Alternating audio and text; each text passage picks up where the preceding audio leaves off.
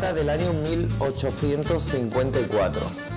Posiblemente es la barbería más antigua de España entera. Close your eyes, please.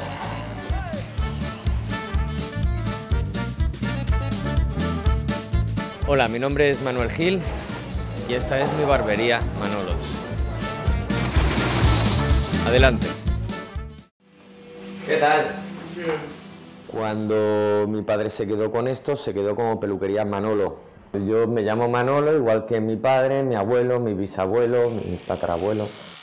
Yo he conocido a muy poquita gente en toda mi vida que haya querido ser desde pequeño lo que ha llegado a ser de mayor. Los niños tienen un sueño. Yo de mayor quiero ser astronauta. Mi padre de pequeño quiso ser barbero y la vida le ha hecho ser barbero toda su vida. Siempre que salía del colegio se iba hasta la barbería de su tío abuelo a enseñarse. A los cinco años estaba enjabonando y a los siete ya podía afeitar e incluso ya podía cortar algún pelo que otro. Con 15 años se montó su peluquería. Siempre ha trabajado de peluquero. Esa pasión me la ha pasado a mí. Vale, pues te pongo dos cortes de pelo, ¿vale? Y así vienes con tu amiga, ¿vale? Yo no quería estudiar en el colegio y mi padre me dijo que no había ningún problema.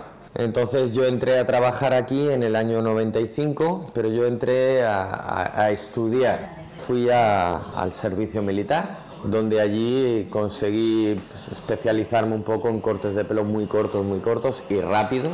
Ya me puse a trabajar en el año 96 hasta el día de hoy. Mi sueño era ser músico. La misma satisfacción por un buen corte de pelo es para mí lo mismo que haber compuesto una buena obra. Para mí todo esto son composiciones. Manolo, dígame.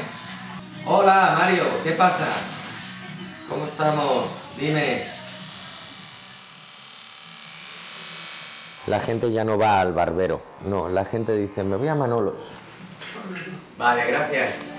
Perfecto. Chao, está bien. Nos vemos. Chao. Chao. Bon voyage.